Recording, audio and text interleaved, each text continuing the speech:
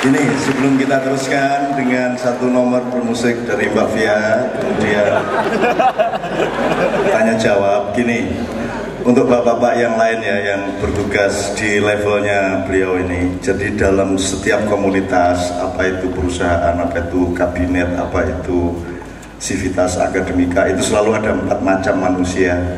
Yang keempat-empatnya kasih dia hak hidup tapi di dalam penataan yang dosisnya tepat. Jadi ada manusia yang jenisnya mencetuskan dia pencetus. Jadi pokoknya dia ngene ngene ngene ngene ngene sing apik ngene ngene ngene njur turu. Nah ojo dikongkon ra turu jan isone mencetuskan njur bar turu biasanya orang macam ini jangan disuruh rajin ngajar, pakai seragam, segala macam. Dan itu itu jenisnya pencetus. Dia seorang kreator. Jenis yang kedua adalah pendiri atau pembangun. Jadi kalau ada cetusan yang baik, orang yang kedua ini terus mendirikan dan membangunnya. Terus jenis yang ketiga adalah memelihara bangunan yang sudah ada. Ketiga-tiganya penting. Kalau nggak ada pencetusan, juga tidak tidak tidak dinamis itu komunitasnya atau universitasnya. Jenis keempat adalah pendobrak. Nganggu baju koko matamu suwe, menunggu ya itu pendobrak. Nah pendobrak itu harus dikasih hak hidup dan disangoni nek lupa.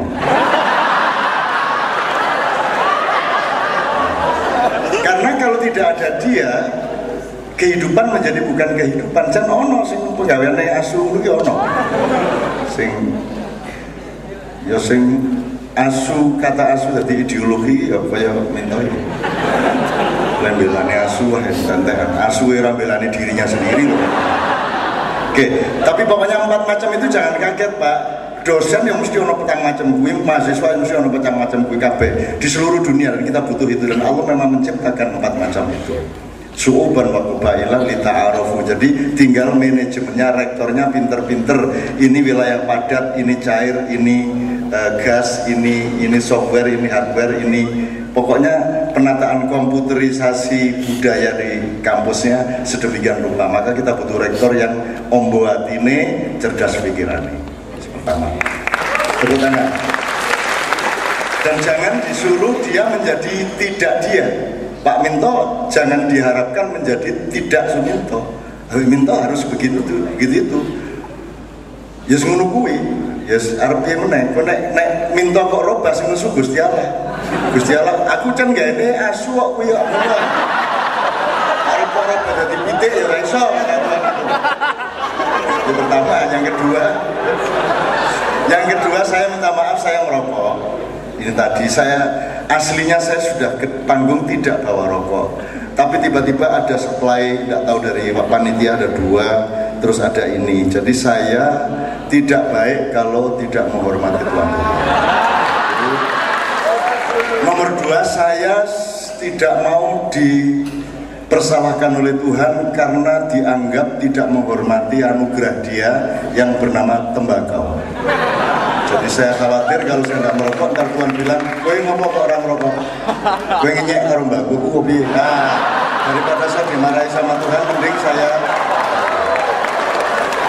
Nomor tiga karena ada Mas Hanafi untuk mengingatkan dia bahwa di Muhammadiyah juga ada dua madhab.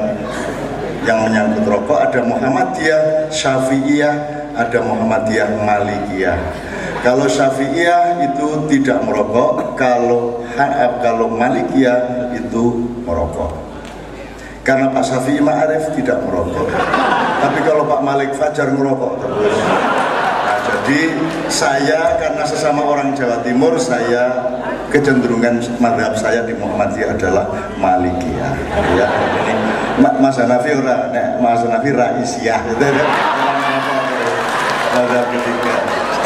Oke, kemudian nyun sewu, saya kan tetap harus concern dan fokus terhadap keluhan-keluhan yang melahirkan acara ini.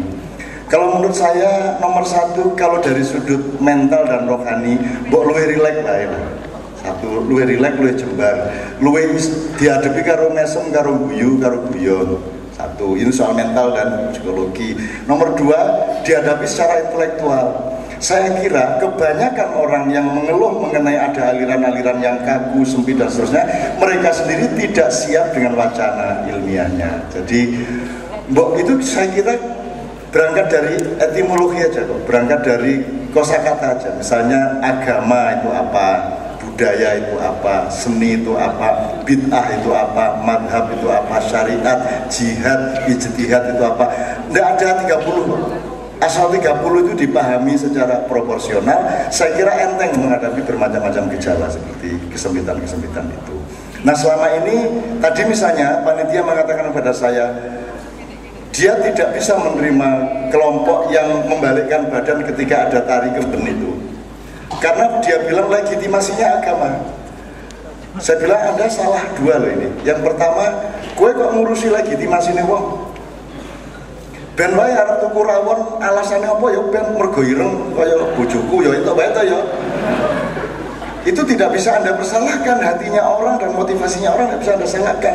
Yang boleh anda persoalkan adalah output yang bersentuhan dengan anda.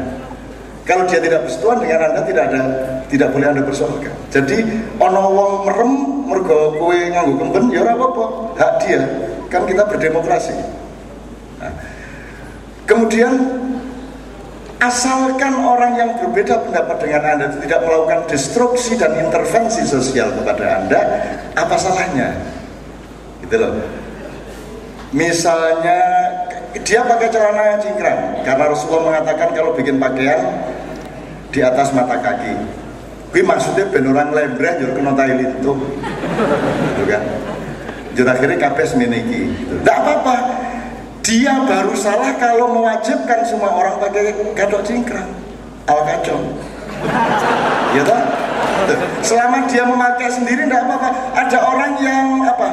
Karena saking cintanya kepada nabinya maka dia melakukan persis seperti nabinya. Kalau makan pakai tiga jari.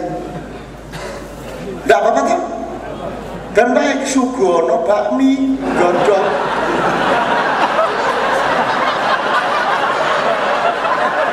lorong wiran tetek ngokop ra itu ya.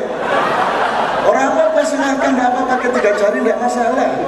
Yang salah adalah kalau dia mewajibkan orang yang lain pakai tiga jari. Boleh dong saya cinta sama Pak Minto saya juga maka saya cinta pada gamelan. Boleh toh. Cuman kalau saya mewajibkan semua orang cinta gamelan saya jadi salah.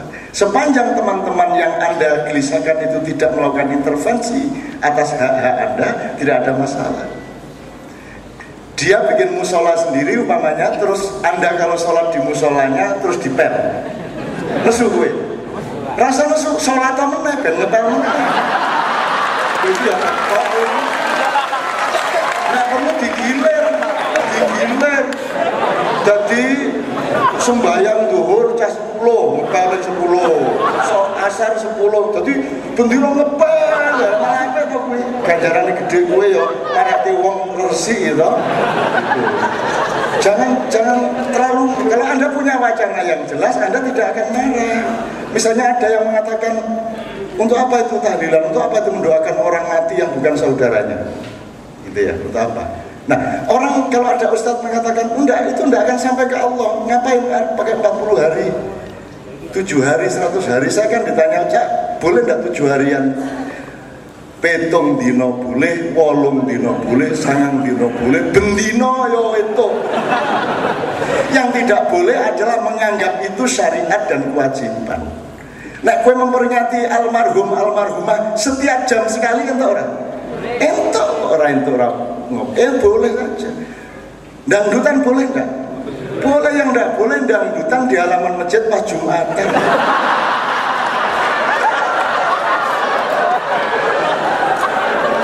Wiritan baik atau enggak? Empan papan. Wiritan belum tentu baik. Orang Madura sudah tahu persis. Wiritan belum tentu baik. Wiritan pas kerja bakti hari Minggu di kampung. Semua pak pegang pacul, parang, resik-resik sapu gue dengar cendela wiritan. Lah, ilallah, lah, ilallah. Cocoknya dia pakai gue. Pacul gulune, ya toh? Kan begitu. Jadi semua empan papan dulu cain fi makani setiap segala sesuatu di ruang dan waktunya. Jadi kalau kita memahami secara ilmu sebenarnya tidak ada masalah semuanya. Misalnya bid'ah. Bid'ah itu contoh kecil aja. Bid'ah adalah segala sesuatu yang tidak diperintah oleh Nabi, tidak dilakukan oleh Nabi dan tidak dianjurkan oleh Nabi, maka kamu jangan lakukan. Itu bid'ah. Sekarang masalahnya perda bid'ah ini berlaku di kabupaten mana? Apakah segala sesuatu berlaku bid'ah di segala sesuatu? Nabi tidak pernah pakai baju koko. Tahu kok Nabi nggak baju koko macam kok? Maka jangan pakai baju koko bid'ah. Nabi tidak pernah pakai celana jin. Ayo, Nabi sopo sih nggak tahu. Maka tidak boleh pakai jin. Itu begitu? Naik haji Nabi Muhammad pakai onta Bahkan waktu tawaf pakai onta. Barang siapa naik haji pakai pesawat batal hajinya. Bunuh. Kudu melangi we. Jadi tolong bedakan mana agama, mana terjemahan syariatnya, mana fikihnya. Itu pun ada versi-versi fikih A, fikih B, fikih C, fikih D. Bahkan jangankan itu, yang default, yang code itu hanya Quran. Kalau hadis itu diidentifikasi, dikumpulkan 300 tahun sesudah hidupnya Muhammad. Jadi itu kila wakola tembung jari jari jari jari jari jari jari ada yang lulus ada yang tidak. Jumlah pengumpulannya sekitar 2 juta 200 hadis. Tapi yang lulus di bawah 100 ribu. Itu pun belum tentu lulus. Jadi kalau kira-kira tidak masuk akal, buang, tidak pakai. Hanya Quran yang dipakai kan gitu. Jadi hadis hadis pun itu harus anda harus anda verifikasi. Ada ustadz mengatakan ini tidak boleh ini untuk apa kamu tahlilan untuk apa mendoakan? Kamu bareng-bareng sak kampung mendoakan orang sudah mati. Padahal menurut kemuhammadian saya dulu di SMA Muhammadiyah 1 ada hadis yang mengatakan idza mata ibnu adama in amalu illa min salatin kalau anak Adam meninggal dunia terputus amalnya kecuali tiga. Satu. Apa? Sodakotin jariatin. Jadi sodakoh yang jariah yang yang akseleratif yang berlaku panjang. Au ilmin yuntafau atau ilmu yang bermanfaat bagi orang lain. Nomor tiga awalatin solehin ya ta'ula anaknya yang soleh yang berdoa. Nek kue dudu anake kue orang kabul. Nah kalau ada ustadz kasih pengajian seperti itu jangan marah. Langsung berdiri saudara-saudara mari kita doakan ustadz kita masuk neraka. Mulu carane nanti ustadznya marah loh kok saya doakan masuk neraka tenang aja kita tidak bersaudara tidak akan kabul.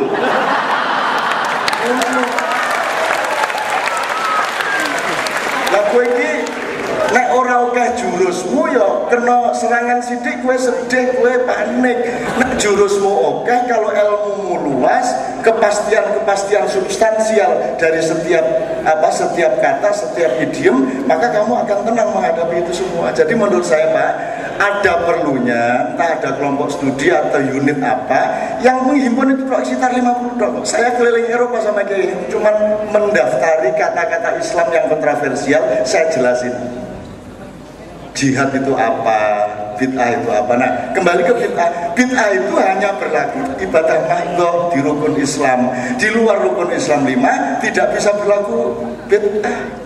Jadi kalau Rasulullah tidak pernah naik andong, ya kita tidak apa-apa naik andong. Antum malam di umur dunia kok apa kanjeng Nabi ora tau mangan jagung bakar, ora itu. Nah, merongos ngijeni kowe. Anjur arep ngopo kowe? Kanjeng Nabi katokan apa ora ngerti ya ngene iki. Dadi subhat kok katokan iki. Kanjeng Nabi sarungan ra tau, celonoan ra tau, ya toh? Kaosan ra tau, urung ono kaos, urung ono singlet ya zaman semono ya. Jadi kalau Anda meniru Rasulullah di wilayah ibadah muamalah, di wilayah kebudayaan, itu Anda Ora kumangan apa-apa. Wis kacamata ra entuk, klambi ra entuk, kaos ra entuk. SMS ra entuk, Facebook ra entuk, mau daro kowe wis ora. Foto sembarang ra entuk wis. Maka bid'ah itu berlaku di dalam ibadah mahdoh sholat lima waktu ya lima waktu ndak usah bagusi ditambah enam. Dua rakaat dua rakaat rasa 14 mentang-mentang melu karate jur sehat sembayangnya ditambahi. Malah tambah Bismillahirrahmanirrahim. Rasa baga itu namanya bid'ah. Gitu ya. Jur nganggo gingkang barang Jur ditabui. Tabui nganggo gamelan kayak gini Marilah kita Jumatan dengan piringan Musik, ya kanjeng. Nah. Tapi jenenge bid'ah. Kalau ibadah resmi rukun Islam itu jangan dicampur aduk dengan apa-apa. Karena kalau kamu campur, kamu tambahi, kamu kurangi Itu namanya bid'ah. Tapi kalau di luar rukun Islam Tidak ada bid'ah. Gitu loh Ini kalau tidak dimengerti kan Wah mau bengunyer le berdebat. Musik orang itu, oke, musik tidak boleh, haram, oke. Kita cari dulu hadisnya, sahih apa tidak, mutawatir atau tidak, satu urusan. Urusan kedua, musik itu unsurnya adalah bunyi, nada, irama. Yang tidak boleh yang mana ini? Bunyinya tidak boleh.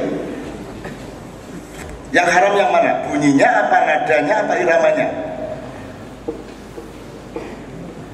Yang mana nih yang tidak boleh? Nah kalau bunyi itu haram, kue nek ngising aja ngeten.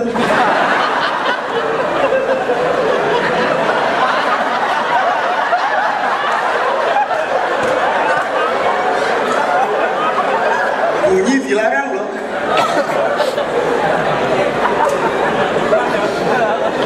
Nah bunyi dilarang loh.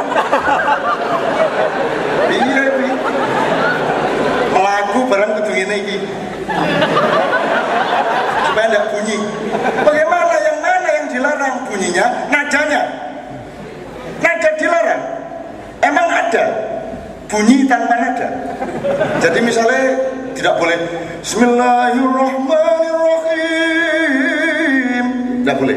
Itu ada nadanya harus Bismillahirrahmanirrahim. Aku nada rap jenenge. Bismillahirrahmanirrahim.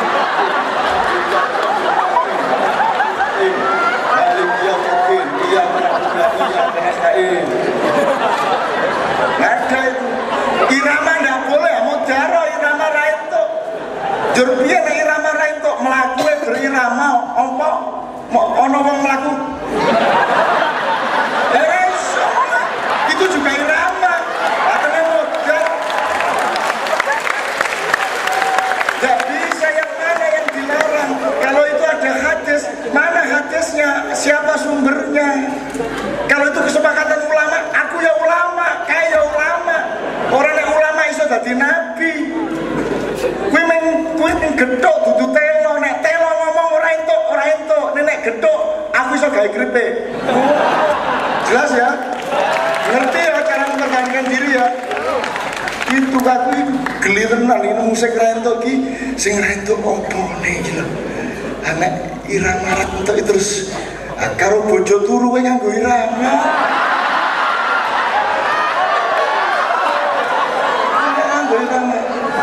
Dik, mari kita langsungkan tolong tanpa irama ya terus piye angel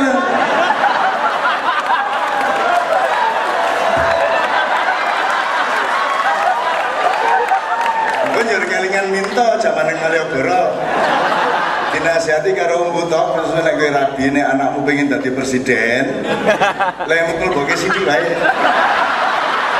Terus minta percaya oh ngeten nggih Mas Umbu iya. Terus minta rabi. Dileboke sini ben dadi presiden anake. Akhirnya wis menteri rapo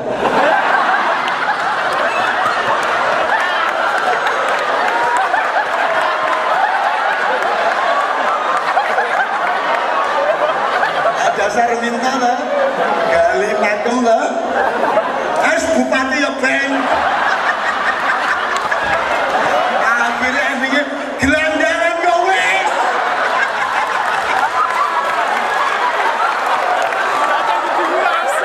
oke itu ya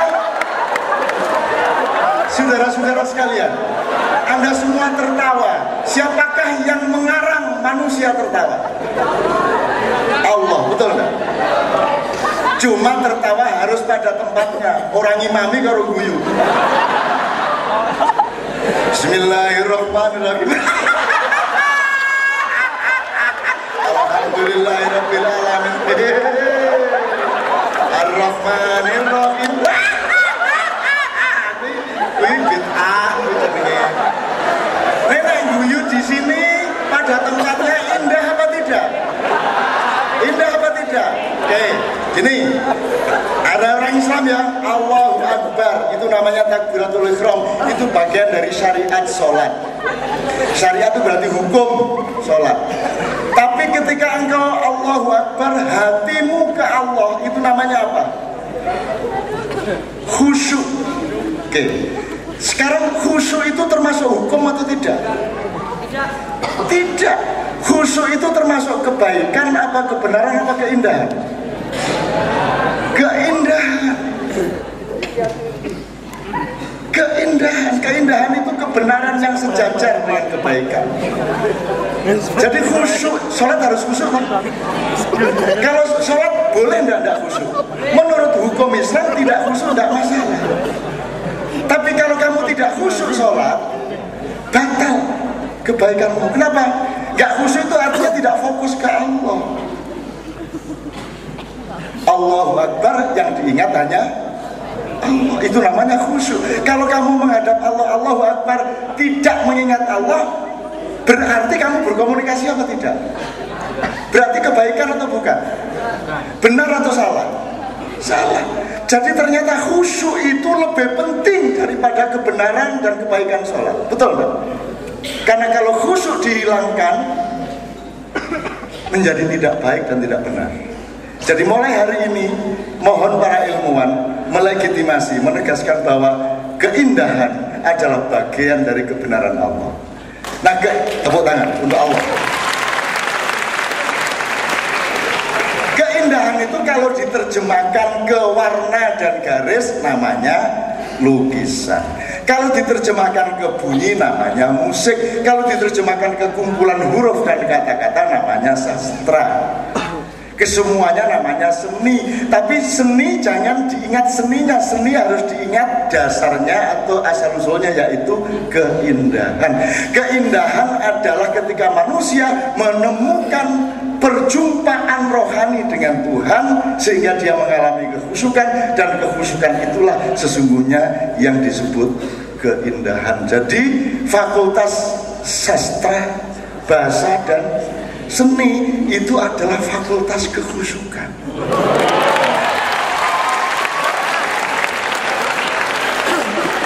Saking khusyuke kuwi wis mesti mlebu swarga.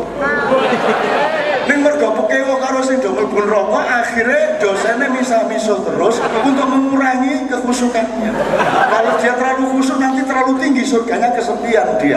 Wis udah nisor-nisor wae. Mulane misa-miso terus bendino. Kuwi carane belani profesor sing sok miso. Oke, akan tanya jawab tapi sebuah nomor dulu dari Mbak Novia dan Bonang kesarannya Kiai Kanjeng. Tepuk tangan untuk beliau-beliau semua.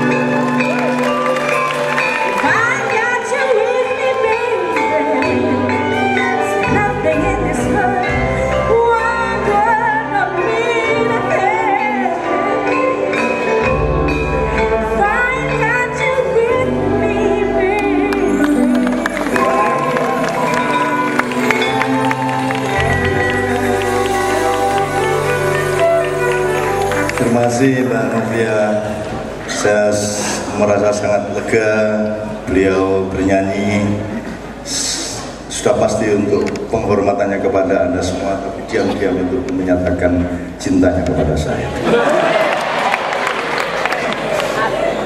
Artinya itu dia berkorban besar untuk mencintai saya. Ini harus terus terangi kuis ajaib dari gelem karo aku ya kuwi nek ora dihapusi malaikat ra iso kaya gelem-geleme karo aku makanya saya bersyukur saya berterima kasih aku bisa digelemi Mbak Novia digelemi gue kabeh di aku konco karo Suminto Asayuti